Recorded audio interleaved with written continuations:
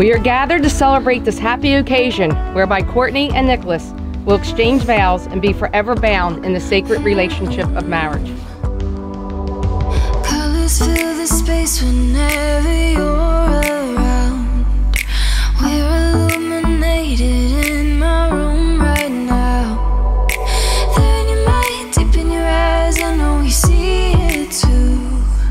The more we break, the better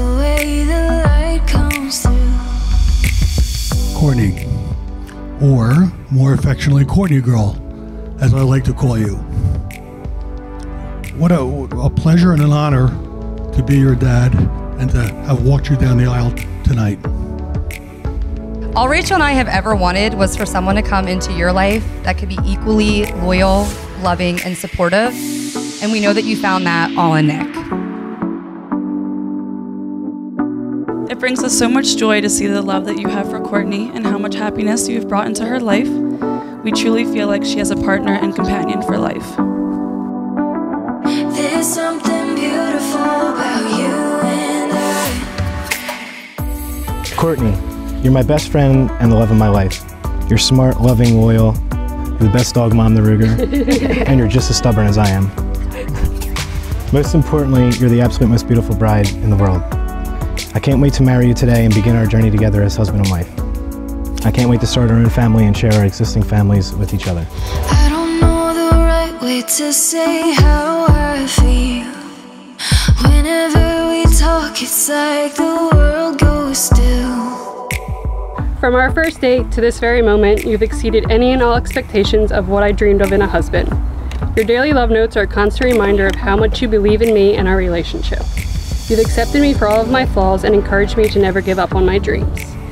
Today I look back and reflect on how fortunate I am for our paths has crossed, for the experiences we have been able to share, and for your unconditional love.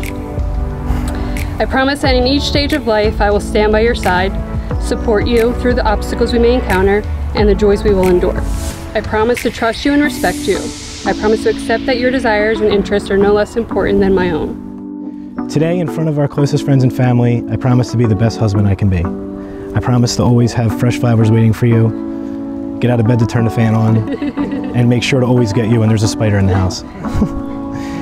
I promise to be faithful, be the most supportive and understanding I can be, and kiss you goodnight every night.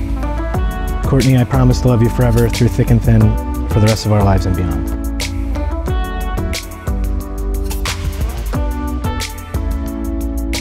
I vow to always make life new and exciting and to never take for granted the memories we make, no matter how big or small. I vow to make time for just the two of us, regardless of the busy lives we may seem to have. I choose you to learn and grow with, even if life changes us. I choose you in tears and laughter and in sickness and in health.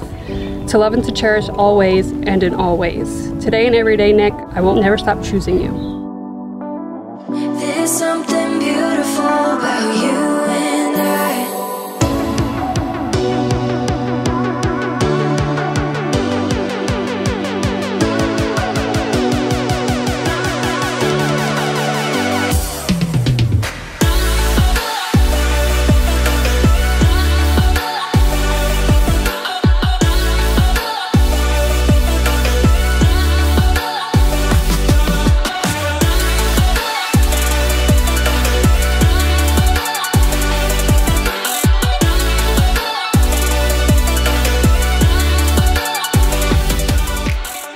Nick, I've known you since you were a little guy, but certainly I didn't know you how you would be in a relationship, especially with my daughter.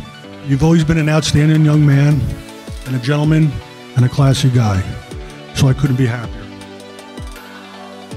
And although it feels like you've been part of the family for years, today solidifies that you are stuck with us for life.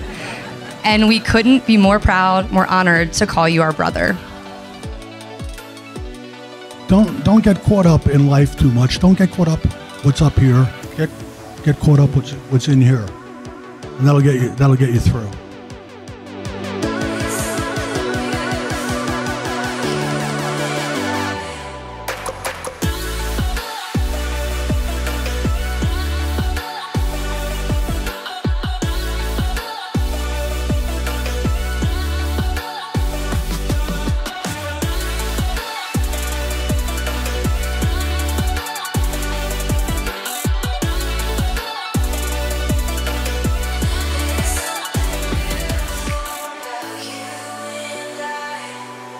Courtney's already felt like family. Her whole family has for as long as I can remember.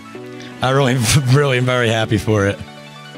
Courtney and Nick, we wish you a lifetime of unconditional love, beautiful memories, and moments that take your breath away.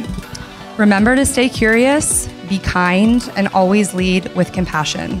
We love you both. Everyone, if you could please raise your glass. To Courtney and Nick, salute Chindan. Nick, do you accept Courtney to be your lawfully wedded wife, companion, and trusted friend? I do. Do you promise to love, comfort, and respect him all the days of your life? I do. I now pronounce the new Mr. and Mrs. Separol.